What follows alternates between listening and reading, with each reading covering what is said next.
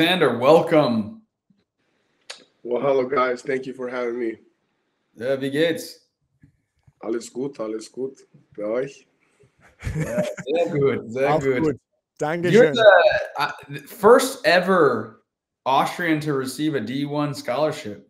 That's really cool. Yes, sir. Thank you. All that I'm- without playing all that without playing high school football. Yeah, that's impressive, man. Uh, how, how did you how did you how did that happen? How did you get that scholarship? For those who are watching, getting a D1 scholarship is really hard to do. Yeah. And it's about 47 times harder doing it coming from Europe without playing high school football. Yeah. 47, So how- 48 times. How'd you do it? Well, there there was um, there was some luck involved. There was a determined will, and um, most importantly, there was a great organization where you learn football really well and um, where you can achieve goals like that. Um, it started. Uh, I was 16 years old, and the under 19 Austrian junior national team recruited me, um, and I started as a right tackle. Uh, we played in Spain in Sevilla in 2008 uh, European Championship, and Austria only made the fifth place, but um, there was an all-star team, and only by coaches back then, and I made that list as a 16-year-old between all those 19, 20-year-olds, and that's when people from the states started to contact me saying, "Would you be interested in playing collegiate ball?" And I said, "Yes, absolutely," but I'm only 16 years old. So back then, I had a process of three years to find out what's an SAT test, what's the NCAA clearinghouse, what is the eligibility center, how to translate your grades, how to take the ACT, how to take the TOEFL, how to get all your paperwork ready. That when the moment hits and someone wants to recruit you, you can say, "I'm eligible." Yes.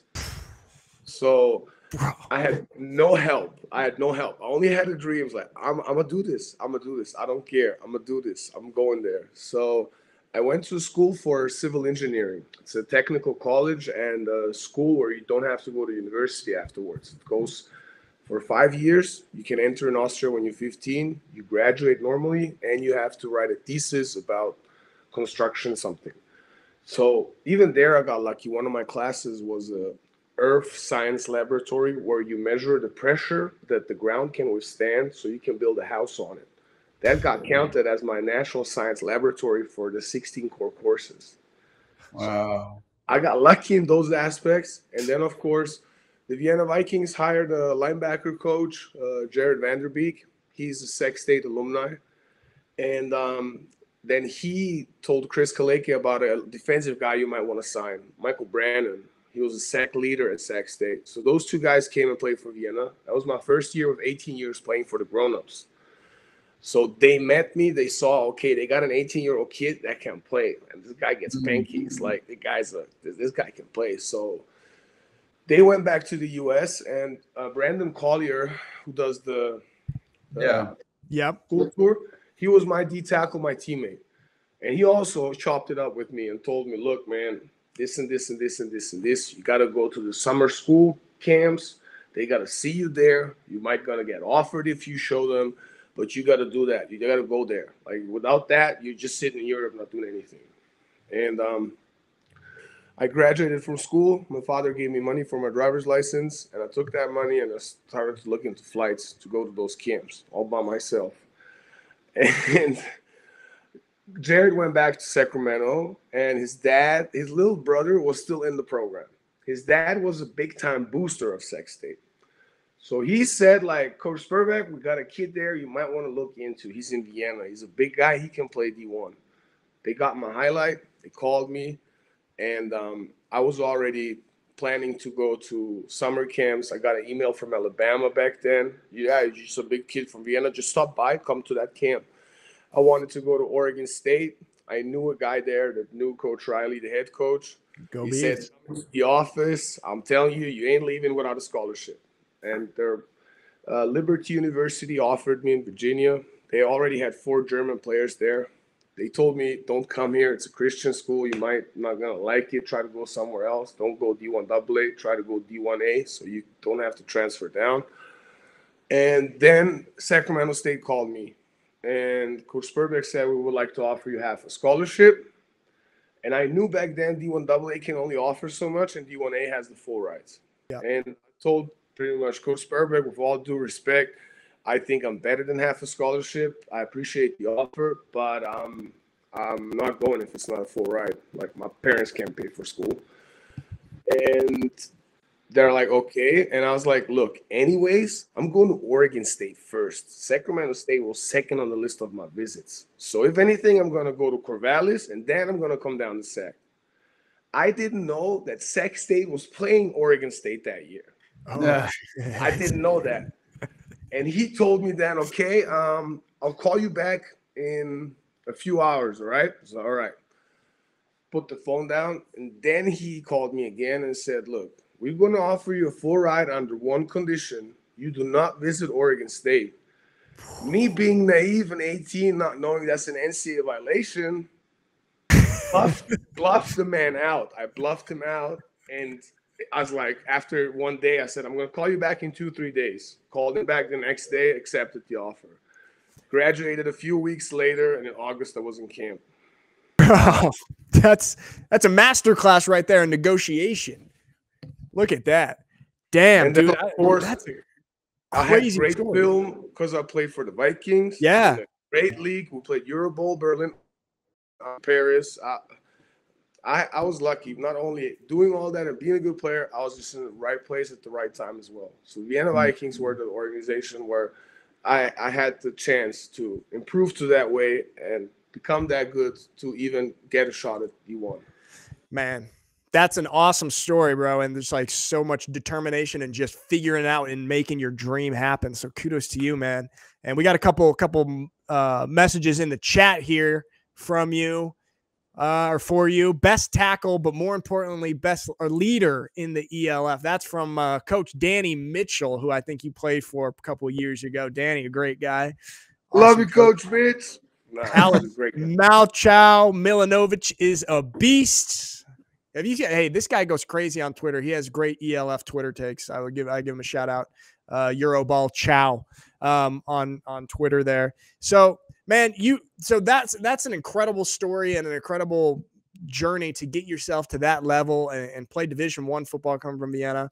Um, now, can you talk to us a little bit about now coming back to Europe? I know you played in Bosnia a little bit before going to the Vikings. Can you talk a little bit about your European football experience after getting this college football experience?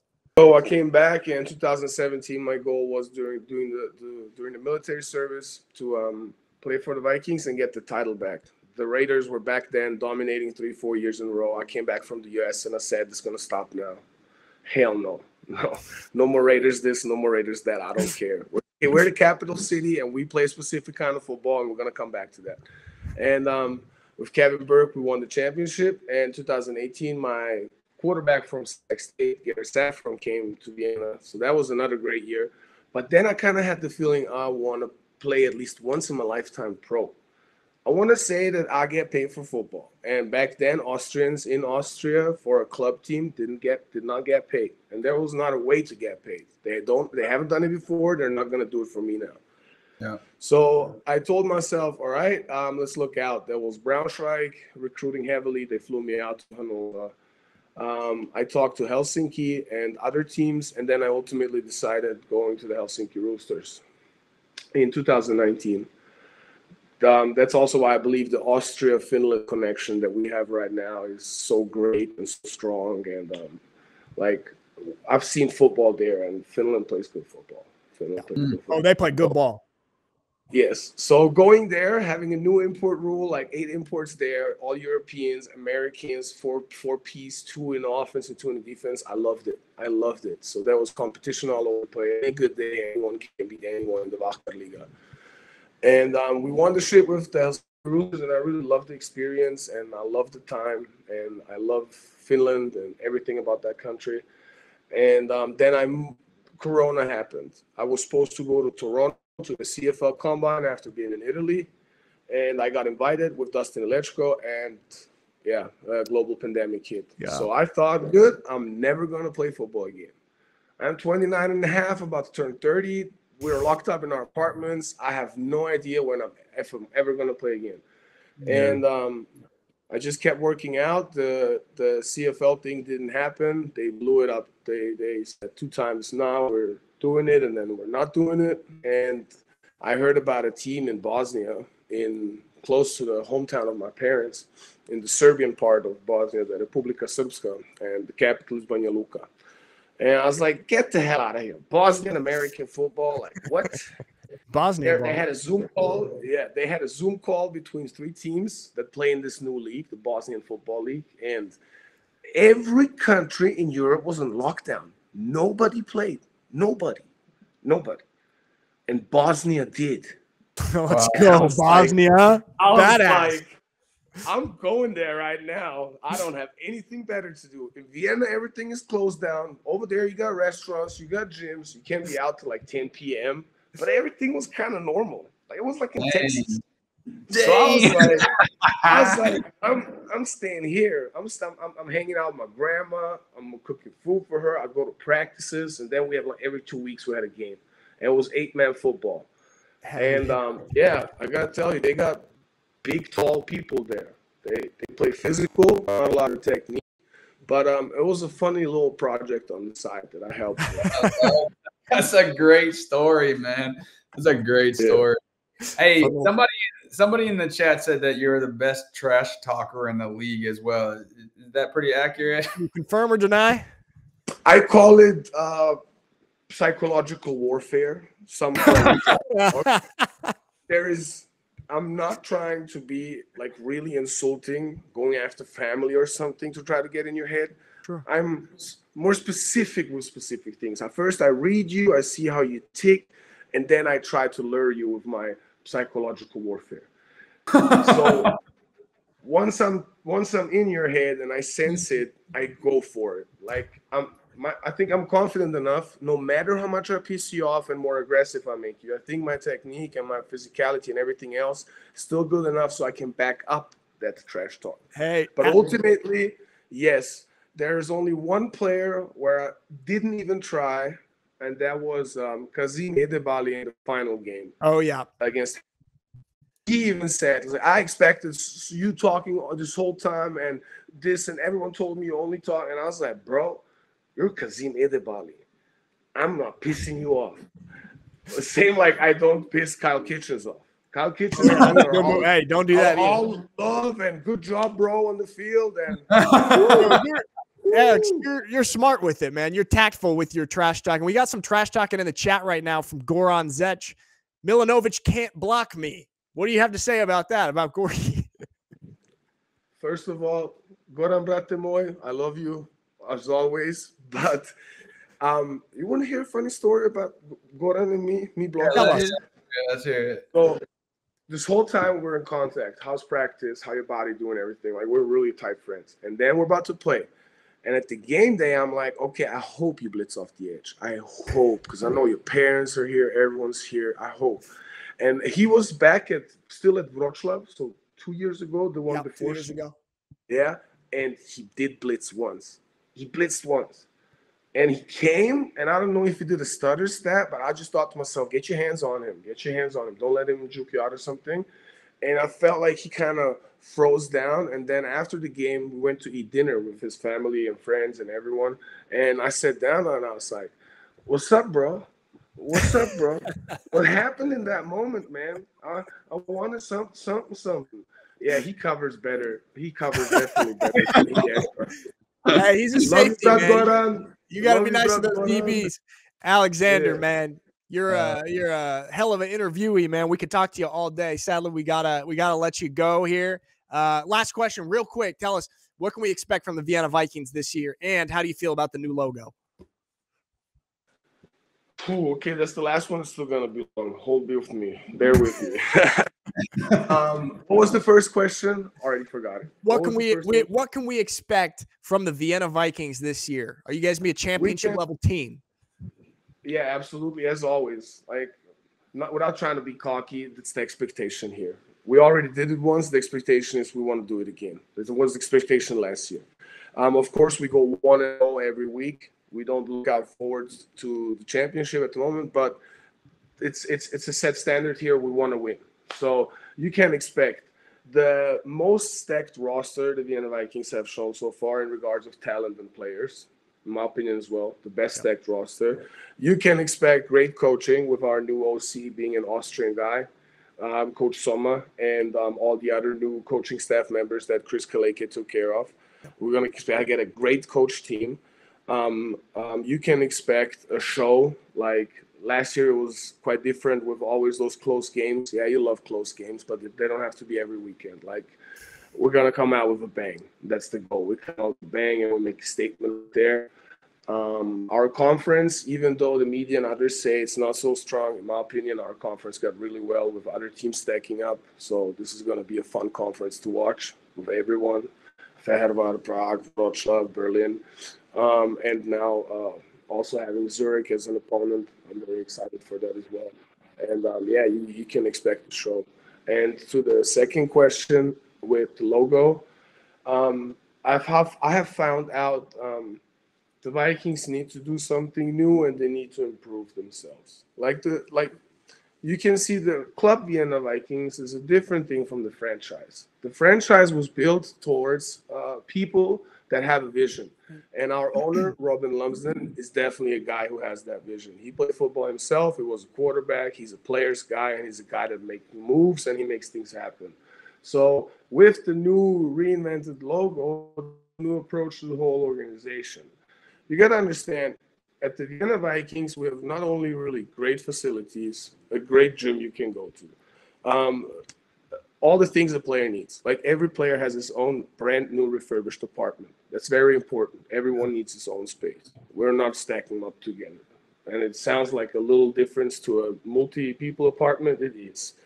Um, uh, we have um, cool incentives and goodies for players. We have a meal plan here um, that we're trying to establish through the last years and really got it stuck through. Like everything is improving year by year. And that's why also it has to come with a new logo. And we decided for a new logo. I'm going to be honest. At the beginning, I was, hmm, I don't know. It still grows on me, but I think I'm liking it more and more every day I look at it because it is a new identity. You got to be careful with them with them logos that you use if they're too close to other teams. There are enough teams in our league that have logos that are still very, very close to, for example, NFL teams. You bring yourself in Hell's Kitchen doing that, you know? Yeah. And um, for that now, there is a new brand. They're gonna be. This is not say. Yeah. They're gonna be new horns on our helmet. They're newly designed. They look badass. I approve. I definitely approve. The new unis look badass. Everything is gonna come out great. The players like it so far. So yeah, that's the that's the whole new logo new logo approach to reinventing the whole franchise itself. And um, yeah, it's a great place to be here. And um, I love, I love, I love this organization, the city, and of course the players do as well. Well, I'm sold. I'm sold on on Vienna. I guess I guess just go play there. Hey man, you are uh, the the best spokesperson for a team I've ever seen. I so, agree. Uh, yeah, you got to go after after you're done playing, man. You got to go into marketing. Yeah. Okay. Alexander, thank you so much, man, for joining one of, on One of my many talents. Oh, we're losing him a little bit. Get going. Yeah, I see. It's there. It is. All right. Thank you for having me, guys. Thank you for having me. Yeah. Thanks for being here. Appreciate, appreciate Thanks so much, brother. Great stuff. Good luck this year.